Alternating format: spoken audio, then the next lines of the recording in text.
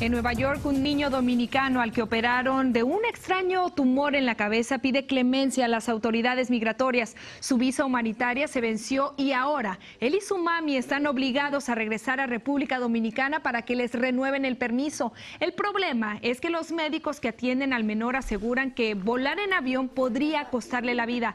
La madre del pequeñito espera que el servicio de inmigración haga una excepción en su caso. Yo estoy confiando primeramente en Dios. Luego en que migración siga siendo, siga siendo como hasta ahora humanitario con el caso de nosotros. Porque... Madre e hijo han, han, estado en el país desde el 2014 y habían extendido la visa humanitaria en dos ocasiones, pero todavía al menor le quedan varias cirugías para que pueda llevar una vida normal que Angélica Rivera publicó en sus redes sociales, donde confirma que tomó la decisión de divorciarse después de haber entregado su amor para cumplir como esposa, compañera y madre.